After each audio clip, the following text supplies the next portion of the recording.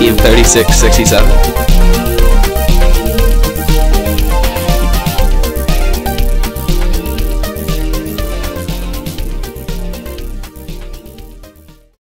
Hi, I'm Maddie Partapilo, and this is. Jared from Team 3667. So I have a couple questions for you today, Jared. So the first one is, what's your sub team? I'm on Engineering Notebook for my primary sub team, and then my secondary sub team is Scouting.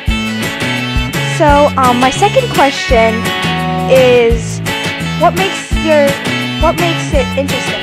Uh, probably being able to like write about the team and t- and like tell the team's history and what we've done in the past. So my third question is, what's your favorite part of the program? Uh, probably the competitions because of the overall atmosphere there.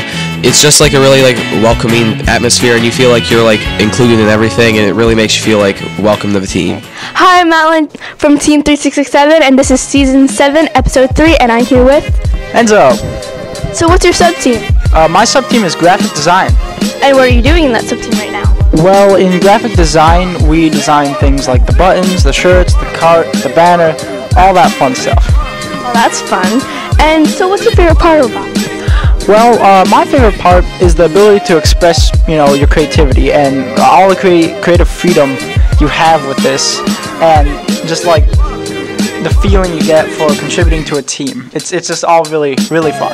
Aw, that's sweet. So thank you for watching. This is Team 367 Knightly News, Season 7, Episode 3.